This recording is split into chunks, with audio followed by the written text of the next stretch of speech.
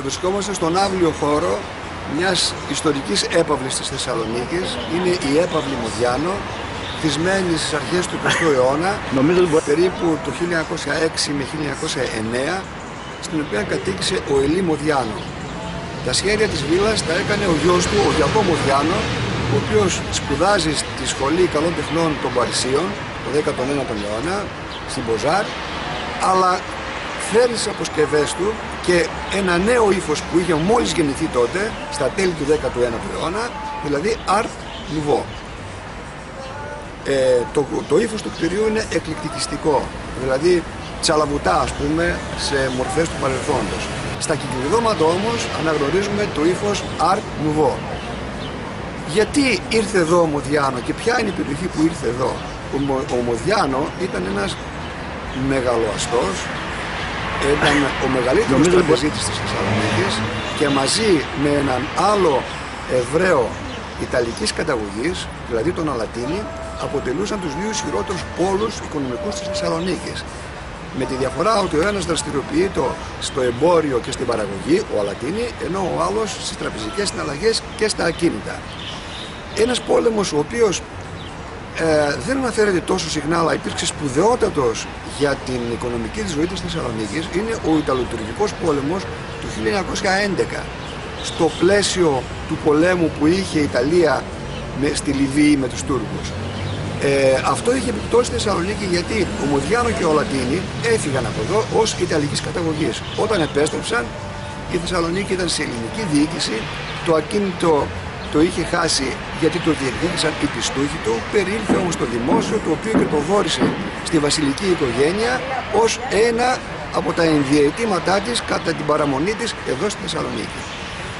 Ε, εκτός από ανάκτορο χρησιμοποιήθηκε ως η έδρα του διοικητή Βορείου Ελλάδος μετά ξανά ανάκτορο από τον Γεώργιο τον δεύτερο τον βασιλιά ο οποίος και έκτισε το φυλάκιο στην είσοδο του μουσείου ε, το χρησιμοποίησαν επίσης οι Γερμανοί κατά τη διάρκεια του Δευτέρου Παγκοσμίου Πολέμου το 1947 εγκαθίσταται εδώ η πρώτη στρατιωτική ιατρική στην Ελλάδα στην, α, στην έπαυλη Μοδιάνο και στο επιταγμένο κτίριο του γερ- της Γερμανικής Σχολής δίπλα. Το 1960 ε, εγκαθίσταται η Εκκλησιαστική Σχολή με λειτουργία Δημοτικού Σχολείου.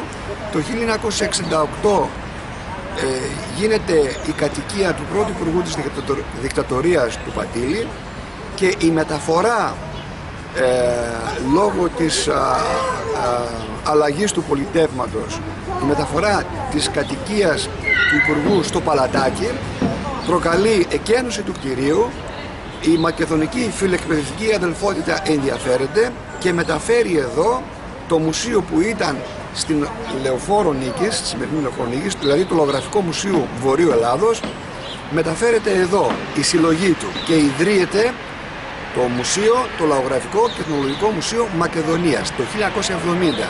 Το 1973 ανοίγει τις πύλες του στο κοινό, το Φεβρουάριο του 1973. Και από τότε, μπορώ να πω, η μονιμότερη χρήση στο κτίριο, στην έπαυλη Μοδιάνο, είναι αυτή, η σημερινή του, δηλαδή ως μουσείο. Η έπαυλη έχει επιφάνειες 1200 τετραγωνικών μέτρων.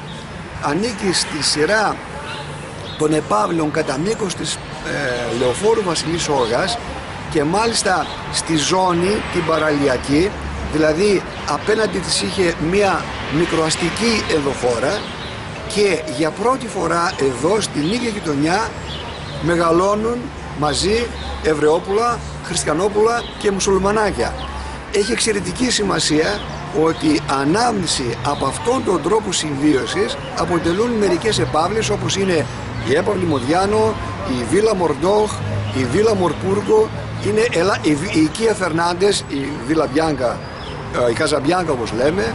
Ε, είναι δηλαδή τα τελευταία δείγματα μιας περιαστικής Θεσσαλονίκης των αρχών του 20ου αιώνα.